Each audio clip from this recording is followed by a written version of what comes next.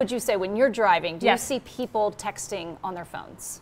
Every time I'm in the car? Yes. Every single time I drive. It's constant. Yeah. And usually, if I'm driving and I see somebody in front of me and they're usually like weaving, I'm like, oh, they're on their phone. Phone. Mm-hmm. Yeah. Yep. So this is interesting. Many states have passed bans on the use of devices behind the wheel, but now Washington State is taking it to a whole nother level with a strict new driving under the influence of electronics law. Ooh, a DUIE? It's a DUIE. Interesting. So it forbids the use of phones, tablets, laptops, and gaming devices, even while stopped. Can't even use it when you're at a stop sign. Hmm. So texting was already illegal, but this law goes further. First time offense means a $136 fine. Second citation, $235, and it goes on a driver's record and is reported to their insurance provider. So now at least 14 states have passed laws banning the use of handheld phones while driving. Virginia's not one of them. And researchers of Virginia Tech have found that distracted driving accounts for two thirds of severe crashes.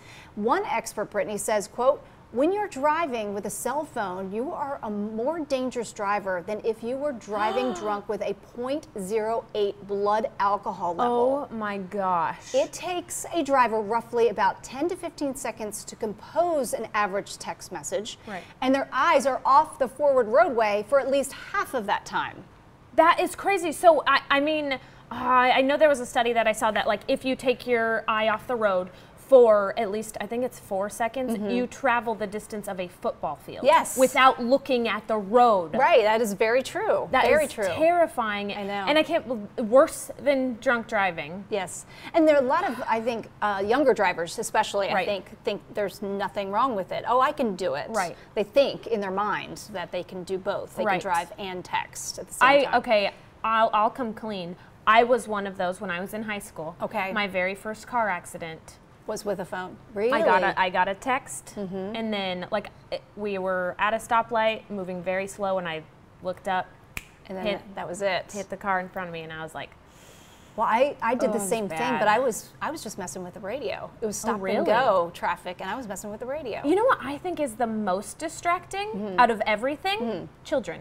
oh, Having yes. children in the back because you're like, ha ha, ha ha ha.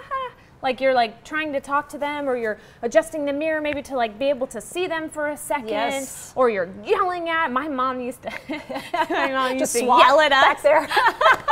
you got the arm used to like, hey, you like, ah, and I remembered that. I And know. One time, oh, I'm sorry, mom. One time she was like, I think she was yelling at us, and then she ran a red light, and she got so scared that she was just honking through the red light so that nobody, like, Oh, people knew really? that. She.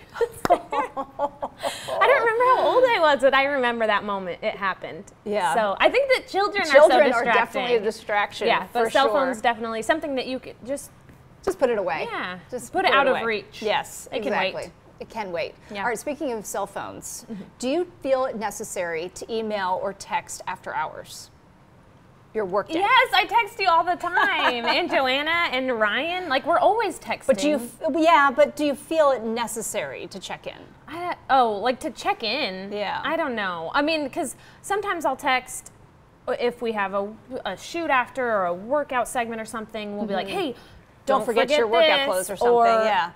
So I don't know. Yes, Yeah. is that terrible? That's terrible. I Not, should leave not really. I mean, our jobs, I think, are unique in that way that we do have to prepare. But Right. get this the CEO of the sports and men's lifestyle site Barstool Sports is making headlines after revealing her unique hiring process. Mm-hmm. So during a recent New York Times interview, she explained that she will text a job candidate at odd hours on the weekend just to see how fast they respond. Interesting. So she looks for a response back within three hours.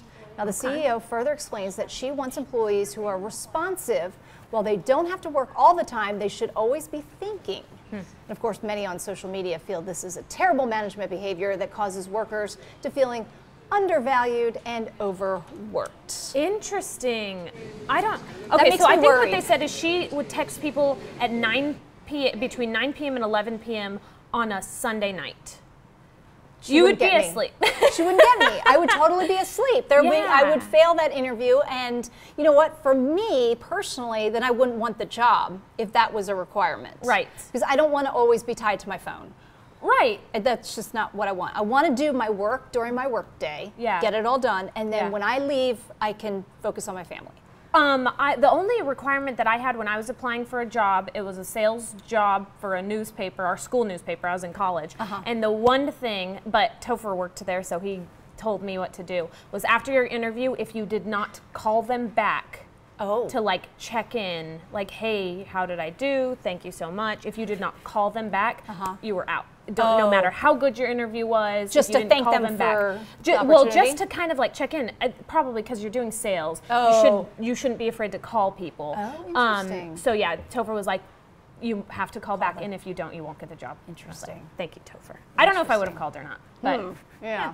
All right. Well, if it's good music you're looking for, look no further than the Harvester Performance Center in Rocky Mount. Tonight, Emmylou Harris hits the stage at 8. Tickets are still available for tonight's show, but the show is standing room only.